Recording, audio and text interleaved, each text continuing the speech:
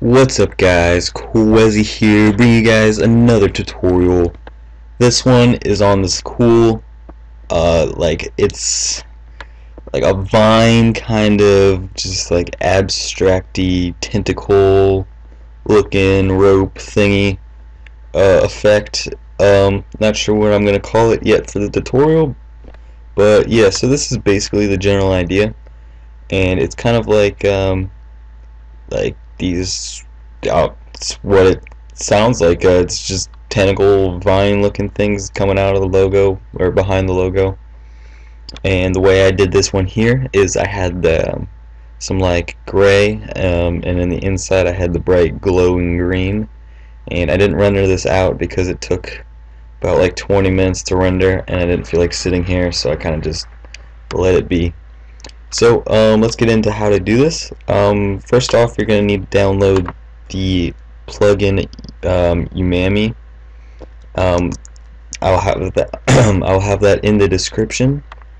But basically, you just go to plugins and Umami, and then I'm just going to turn this sideways 90 degrees. Then I'm going to go and I'm going to adjust my angle and bring it back behind the logo. And then I'm going to click Umami again and I'm going to go to spline. And I'm going to go to the height scale and I'm going to turn that down. Um, adjust it to however your text or logo is. And I'm going to increase the height randomness.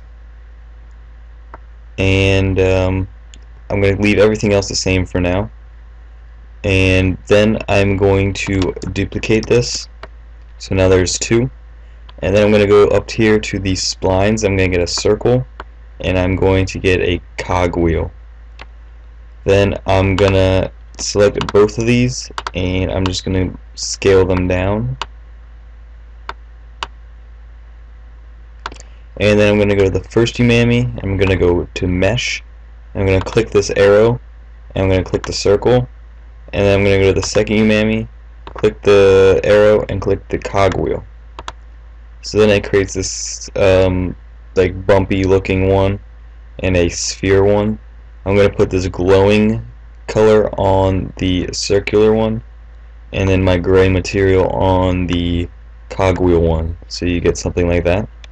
And I'm just going to adjust the size of the circle something like that and now this is a little too far forward yet. So I'm gonna bring it back a bit just like that. And now uh, this is where you can um, start messing around with things. So I can select both of these. And I can go and I can increase the number of splines like that. Or I could decrease them. Or I can go to the random seed mess around with those and uh, once I find something that I like um, just pick something. Come on there okay. The general one works for me. I'm just gonna select these uh, umamis I'm gonna control C control V and I'm just gonna bring them over the opposite way.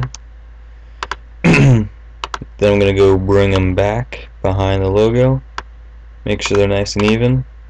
And voila. Nice quick effect for the background of my logo. And um, if I don't like the cogwheel or something, I can just delete that. Maybe just do some glow. That's really bright.